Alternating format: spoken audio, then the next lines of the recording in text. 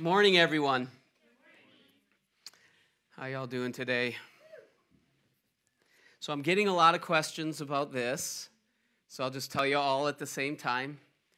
Um, I broke it, uh, and not to over spiritualize it or anything, but um, Renovate's calling is to facilitate spiritual, physical, mental, emotional, relational, and financial health.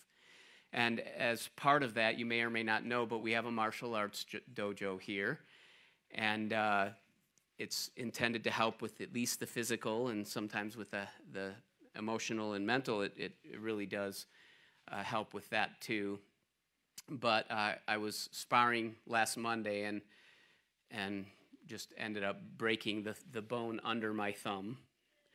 So uh, I would ask you to pray for me. I see the orthopedic surgeon tomorrow. If I don't need surgery, they'll probably just cast it. Cast it. If I need surgery to put a screw or whatever in there, they do. Um, then yeah. So just pray I don't need surgery. Okay. Appreciate that. Um, he he's fine. he, he he's fine. He got the best of this one. Uh, this is, you know, I, I teach and I, I preach, you know, proper pu- punching technique. Um, I must not have had proper punching technique or this wouldn't have happened. So I, I have no one to blame but myself. But I am discovering why we have opposable thumbs. have you ever tried to tie your shoe with one thumb? Takes a little creativity. I'm also discovering I can't play guitar. Uh, I can't work out uh, my normal workout routine. I can't do. Um, and probably worst is I'm supposed to test for my third degree black belt tomorrow night. So, not sure how I'm going to pull that off, but I'm going to try. So, but uh, if you're thinking of joining uh, our RMA, uh, Renovate Martial Arts, our martial arts program, uh, don't let this deter you or scare you away. Um, actually, you don't even have to spar in the early. Uh, we encourage you to spar from yellow belt on, but you don't really have to until uh, the later ranks. It is required if you want a, if you want an advanced belt, uh, obviously because you know if you're learning how to fight and you never practice fight fighting, it just it doesn't make no sense. It's like being a Christian and never doing the things that Jesus told us to do. So knowledge only helps if you use it, right? Anyway, we're continuing our Believe message series this morning. Today is Halloween, as you all know. And uh, I understand that many Christians do not observe Halloween because it's connected with evil things like witchcraft and uh, even Satanism. But that's actually a relatively new thing. The Church of Satan was founded in 1966 um, and they quickly hijacked this holiday. It's, it's one of their uh, it's one of their most important days. Um, but you know, Halloween actually, the thing it's related to most closely is, a, is an ancient Christian holiday called All Hallows Eve. But there's a lot more to it, and it doesn't really matter. Um, my point is, is that just about everybody's thinking about it today. Um, and because of that, I want to call my message The Real Walking Dead. And we are going to be looking at the story of Lazarus in John chapter 11, if you guys want to turn there. Father, as we tune into this uh, Bible story, this true historical Bible story, um, we pray that you would help us to learn something important in our walk with you. Uh, Holy Spirit,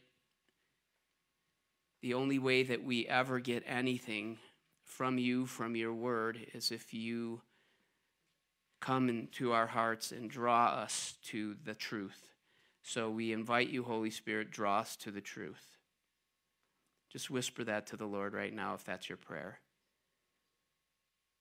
Open truth to us today, God, in Jesus' name. Amen. So I don't know if you remember this far back. This has been a long series, but when we began it, I said that we, we wouldn't make our way all the way through the book of John. Um, and so I knew that we would be running up against the holidays, like in fact we are. Um, and I, I, really want to do messages that are appropriate for the holidays. Um, so today is actually the last message of our John message series, at least for now. Uh, we may come back to it later, but the timing of this could not have been better. Uh, we're in chapter 5 today. Many experts actually divide the book of John into two parts verse, uh, chapters 1 through 11 and then 12 through 21. what we're looking at this week, the story of Lazarus, chapter 11, um, is actually it's the, it's the pinnacle, it's the climax of the public ministry of Jesus. So chapters 12 through 21 actually almost exclusively focus on the, the last week of Jesus' life, what we call Holy Week. And so it would be probably a good time to come back to this when we get close to Easter, and we may do that. But this morning, let's take a look at the, I'm going to read the whole story of Lazarus. Um, so this is a long section. I encourage you, stay with me, okay? Let's go. John 11, starting with verse 1. Now, a man named Lazarus was sick. He was from Bethany, the village of Mary and her sister Martha. This Mary, whose brother Lazarus now lay sick, was the same one who poured perfume on the Lord and wiped his feet with her hair. So the sisters sent word to Jesus, Lord, the one you love is sick. When he heard this, Jesus said, This sickness will not end in death. No, it is for God's glory, so that God's Son may be glorified through it. Now, Jesus loved Mary and her sister and Lazarus. So when he heard that Lazarus was sick, he stayed where he was two more days. And then he said to his disciples, Let's go back to Judea. But, Rabbi, they said, a short while ago, the Jews there tried to stone you, and yet you are going back. Remember that last week in chapter 10? He slipped away, they tried to stone him. Jesus answered, Are there not 12 hours of daylight? Anyone who walks in daylight will not stumble, for they see by this world's light. It is when a person walks at night that they stumble, for they have no light. After he had said this, he went on to tell them, Our friend Lazarus has fallen asleep, but I am going there to wake him up. His disciples replied, Lord, if he sleeps, he'll get better. Jesus had been speaking of his death, but the disciples thought he meant natural sleep. So then he told them plainly, Lazarus is dead. And for your sake, I am glad I was not there so that you may believe. But let us go to him. Then Thomas, also known as Didymus, said to the rest of the disciples, Let us also go that we may die with him. On his arrival, Jesus found that Lazarus had already been in the tomb for four days. Now, Bethany was less than two miles from Jerusalem and many Jews had come to Martha and Mary to comfort them in the loss of their brother. When Martha heard that Jesus was coming, she went out to meet him, but Mary stayed at home. Lord, Martha said to Jesus, if you had been here, my brother would not have died. But I know that even now God will give you whatever you ask. Jesus said to her, Your brother will rise again. Mary answered, I know he will rise again in the resurrection at the last day. Jesus said to her, I am the resurrection and the life. The one who believes in me will live, even though they die. And whoever lives by believing in me will never die. Do you believe this? Yes, Lord, she replied. I believe that you are the Messiah, the Son of God, who is to come into the world. After she said this, he, she went back and called her sister Mary aside. The teacher is here, she said, and is asking for you. When Mary heard this, she got up quickly and went to him. Now, Jesus had not entered the village, but was still at the place where Martha had met him. When the Jews had, who had been with Mary in the house comforting her noticed how quickly she got up and went out, they followed her, supposing she was going to the tomb to mourn there. When Mary reached the place where Jesus was and saw him, she fell at his feet and said, Lord, if you had been here, my brother would not have died. When Jesus saw her weeping, and the Jews who had come along with her also weeping, he was deeply moved in spirit and troubled. Where have you laid him? He asked. Come and see, Lord, they replied. Jesus wept. Then the Jews said, See how he loved him?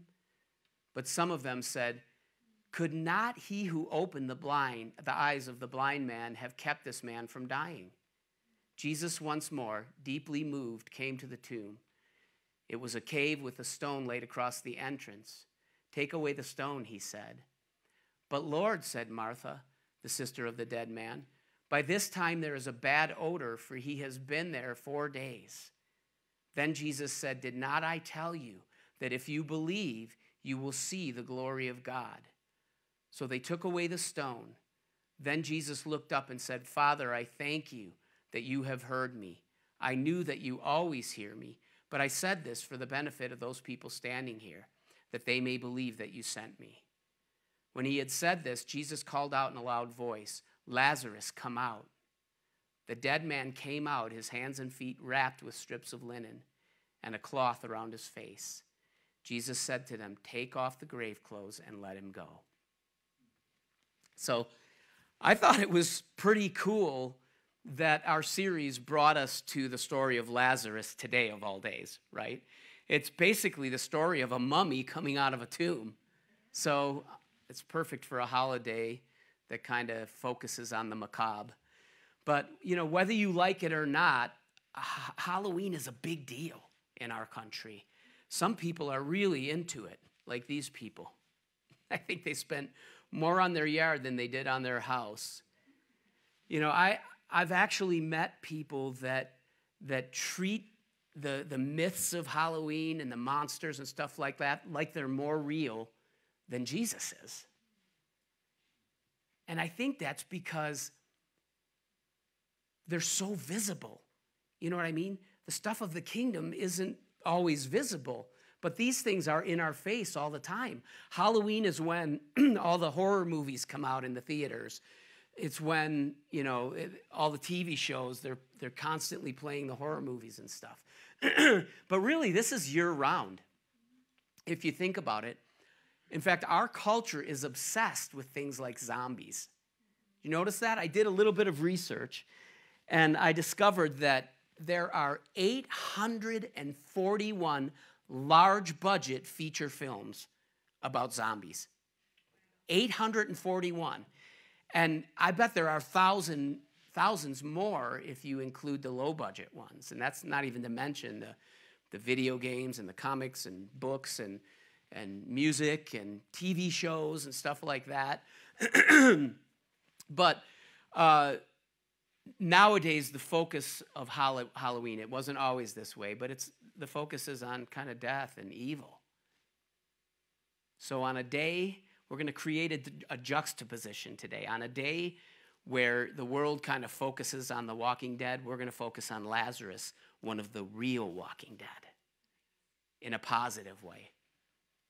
And I want to challenge uh, kind of our belief systems. And I don't just mean about Halloween, but I just want to challenge what we believe every day about death and life and stuff like that. My first point today is believe, then you will see. Believe, then you will see. So I said that the, you know a lot of people believe in, in these myths and monsters more than they believe in Jesus, and I don't mean that they that they actually believe in monsters, although I have to tell you, I have met people that really believe in vampires. It's true. And I actually, actually saw a, a TV show about a whole society uh, of people that believe in vampires. So I think that's just because that's what people, uh, that's what's in their face all the time. That's, that's what they see, right? But that's not a good reason to believe in things, especially in our culture. We shouldn't believe just because we see. In fact, a lot of what's in front of us all the time isn't real. We're saturated with things all the time that aren't real social media, fantasy novels, TV shows, movies. the vast majority of that stuff isn't real, it's not grounded in reality. I'm not opposed to fantasy per se. It's just if you're not grounded in reality, those things can really mess you up. Like you end up believing in real vampires or something, you know? So seeing should not automatically result in believing. Do you hear that? Seeing should not automatically result in believing because there are many, many things that we see that aren't real.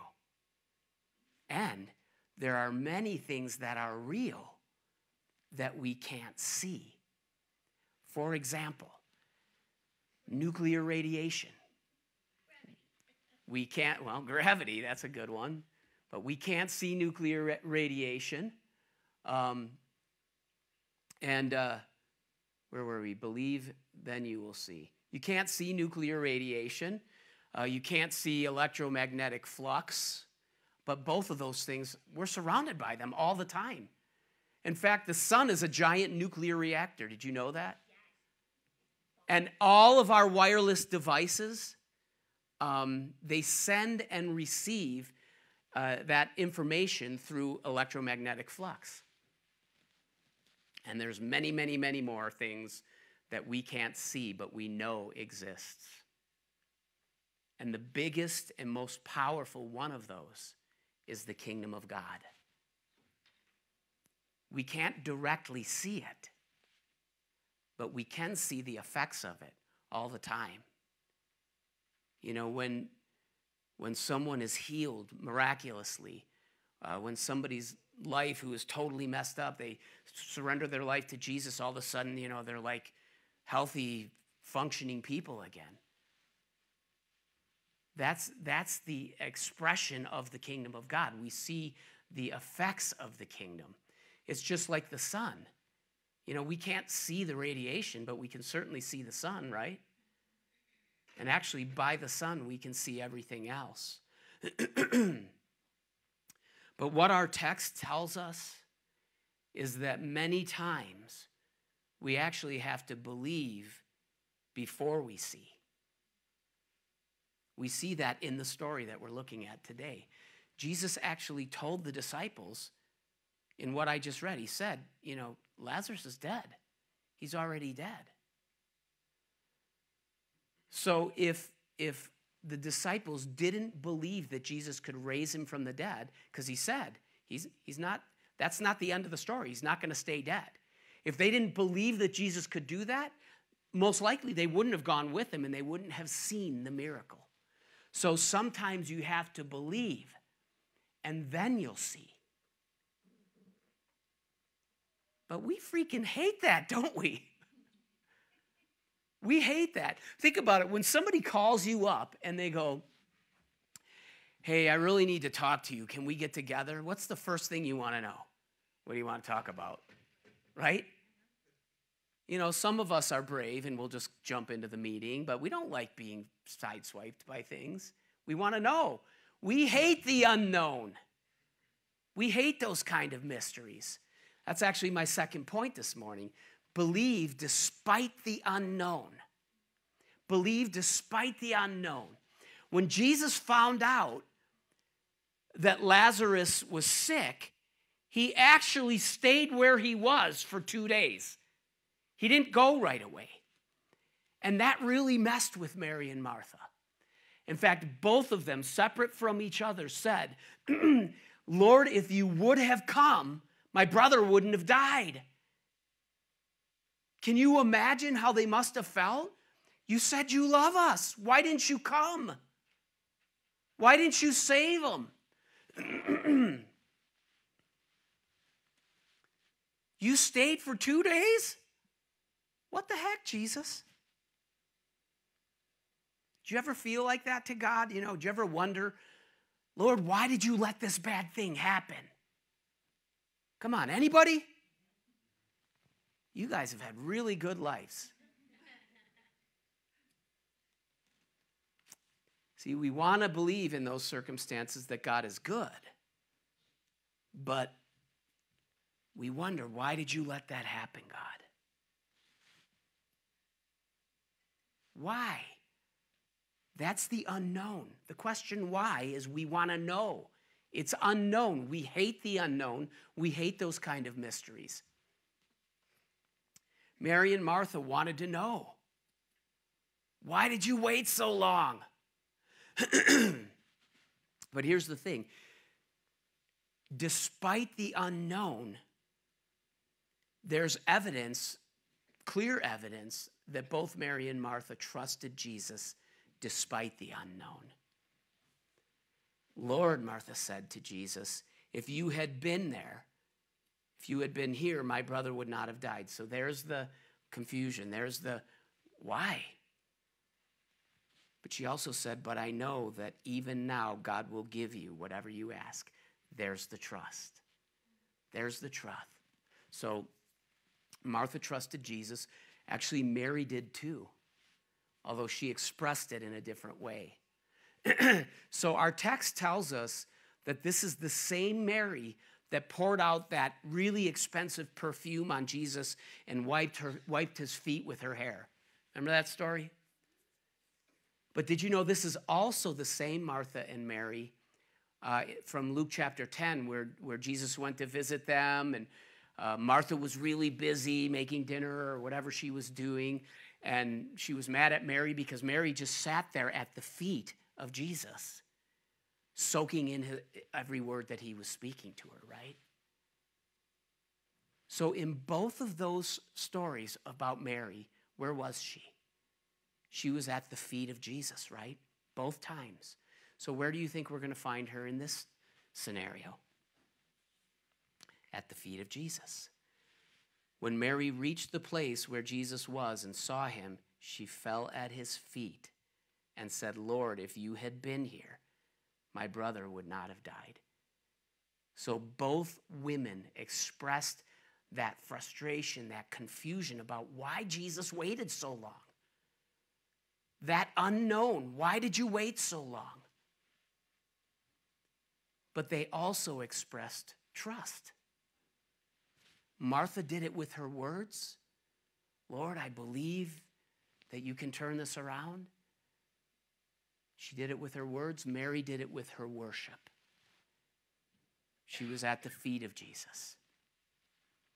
So they both showed that they believed despite the unknown. And you know why they believed? Despite the confusion, despite the things not turning out the way they wanted, they believed because they knew that Jesus loved them. That's my next point. Believe Jesus loves you deeply.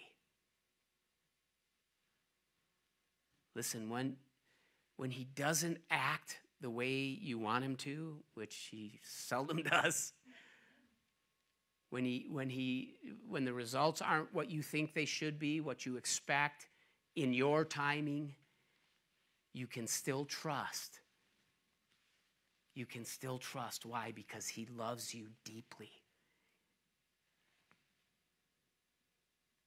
There's a real cool dynamic in this story taking place. Jesus mourned because they were mourning. Even though he sees that the end of this thing is going to be good, he still mourns when we mourn. See, we see the evidence of that deep kind of love all through this story. First of all, remember when, when, when the, the message came from the sisters? What was that message? It says, The one you love is sick. See, they knew that Jesus loved Lazarus. In fact, it says that he loved all three of them. So they appealed to that love. And Jesus responded, right? He came but he didn't do it like they expected. He didn't do it the way they would have wanted him to do it. Certainly didn't do it in their timing. Excuse me. Did not do it in their timing.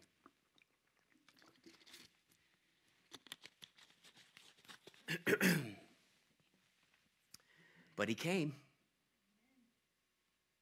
He showed up. And he showed up despite the fact knowing that going there was putting himself at significant jeopardy because he knew that the Jews wanted to kill him and they were serious this time. In fact, he knew that in only a week they would successfully execute him.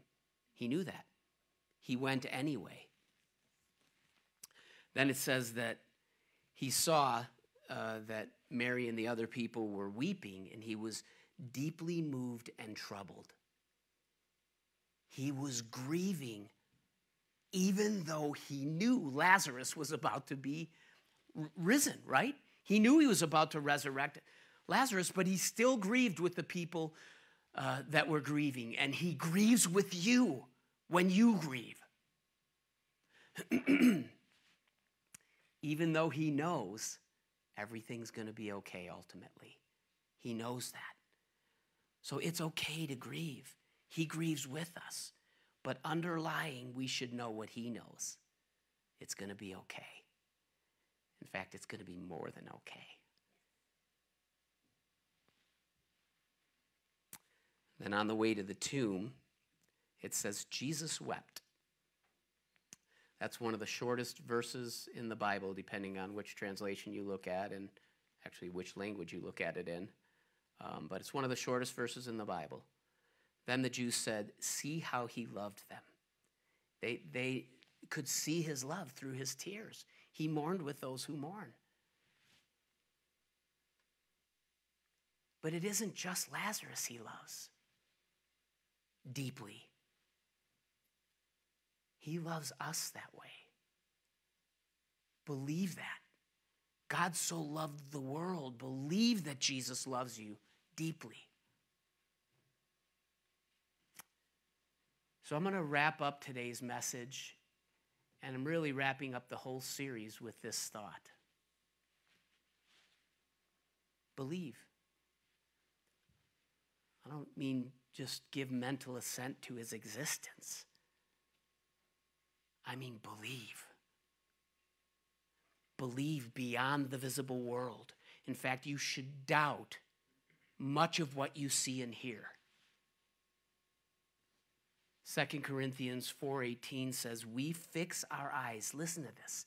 We fix our eyes not on what is seen, but on what is unseen, since what is seen is temporary, but what is unseen is eternal. So believe in the bigger reality of God's kingdom, even the parts you can't see yet. And believe despite the unknown mysteries of why God does what he does, why he allows what he allows why he doesn't do what you think he should do. Believe him despite that unknown mystery. because listen, logically, if God exists, he has to be good.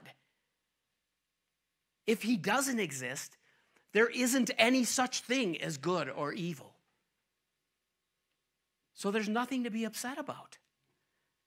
I, I'm always confused by why atheists are so mad at a God that they don't believe in. what the heck? But see, I would present to you that we all know good and evil is real, right? We all know that. I don't care how much you say you don't. I could prove it in about 14 seconds. I could do something bad to you and you would go, Why did you do that? Well, why shouldn't I? because it's bad. Oh, really? So you do believe in good and evil. And because of that, we all know God exists. I don't care how much you scream, He doesn't. And we all know that He's good. Right? We all know that He's good. Because of that, you can trust that He loves you deeply because that's what goodness does. He loves us deeply. You know, the story of Lazarus should remind all of us that death isn't the, the end. It's not the end. In fact, if we uh, look at this through a kingdom perspective, all of us are the real living dead, or at least we will be. We're all the real living dead. That's a kingdom perspective. We're all going to be risen again. We're all eternal beings that will never die. There is no death. Jesus said in this passage, We will never die. There is no death. Of course, our bodies will die, but be glad to get rid of this whole thing. Not right now, though, Lord. Maybe later. We're all eternal beings. We're all going to live somewhere forever. So listen, as a believer, you should not fear death. You should not fear monsters. You should not fear anything except the one who can put your soul in hell. Sorry, that's the words of Jesus. Think about it. People always, often, I should say, often ask the question, you know, what's the worst that can happen in some situation? And the pinnacle of that is typically thought of as death, right? The worst that can happen is death. That's not the worst thing that can happen. Believe me. The worst thing that can happen is to spend eternity without God.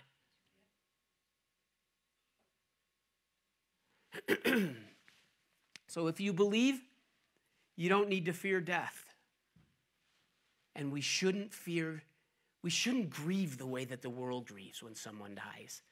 It's okay to grieve. We should grieve. We should grieve when bad things happen, but we shouldn't grieve like the world grieves with who have no hope. Brothers and sisters, we do not want you to be uninformed about those who sleep in death, so that you do not grieve like the rest of mankind who have no hope. If you believe, you have hope. If you don't have hope, if you're obsessed with the thought of dying or people you love dying, then you that is an indicator that you need to repent. That word just means change your mind. You need to change the way you think about death and life and eternity. You need to have a kingdom perspective. You need to believe before you see the kingdom reality. Right? When, when Martha expressed how confused she was about what happened with her brother, what did Jesus do? He just reminded her of kingdom reality. He said, I am the resurrection and the life. The one who believes in me will live even though they die. And whoever lives by believing in me will never die. And then he asked her a critical question, the most important question Do you believe this? Do you believe this? And her answer was perfect. Yes, Lord, she replied. I believe that you are the Messiah, the Son of God, who is come into the world. That's the theme of this message series. That's the purpose of this message, of our whole series, that we would believe in Jesus as he really is. Not as we think about him, not as, you know, as he really is, the Messiah, the Son of God. Not just a good moral teacher, not just a really nice guy. He's God. It's not a myth. It's not a fairy tale. It's not a scary Halloween story. It's the reality of the kingdom. This is also this what she says here is the purpose of the whole reason that John wrote this book. It's summarized towards the end of the book. But these are written that you may believe that Jesus is the Messiah, the Son of God, and that by believing you may have life in his name. Let's pray. Thank you, God, for this wonderful series. Thank you for the book of John. It's been so fun, so encouraging so life giving. Father, I just pray that this the, the ideas in this book would not be white noise in our life. That these thoughts wouldn't be like a refrigerator magnet that's always there, but we don't even see it anymore. Help us, God, to comprehend the challenge, the invitation to believe. In fact, right now, I want to give you the opportunity. In this room, you people at home that are watching online, whether you're watching live, whether you're going to watch this later, I can say with absolute confidence that the Holy Spirit is drawing you and saying, believe. And I feel like summing this series up, I'd be remiss if I didn't give you an opportunity to actually do that, to actually say yes to the Lord. If you don't have a confidence of where you're going, if you, you, you are going to live forever somewhere, you're going to live forever in heaven or you're going to live forever in hell. And you can't wait to the, to the judgment day to decide what's happening with that. Choose you this day whom you will serve. If you want to say yes to Jesus, if you want to declare that you believe, just repeat this prayer after me. Jesus. How about we all just repeat this out loud, unless you don't believe, unless you don't want to.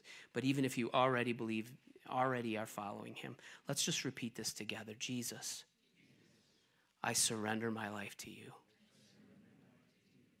I believe that you are the Messiah, the Son of God. And I believe in my confession that you will give me life, eternal life. Forgive me as I forgive others. I choose to forgive others. And save me, God. Fill me with your Holy Spirit. In Jesus' name, amen. Now, Father, I just pray for everybody that prayed that prayer right now that you would surround them with good, godly people, a good church community, if not here, anywhere, just somewhere that it's good church community. I ask, Father, that they would become disciples, not in their mind only, but that, that, that as you renew their minds, that would pour out into their life and it would affect other people. It would affect their behaviors. We need your mercy, God. Come, Lord, in Jesus' name. Everybody said, Amen. Amen. Amen.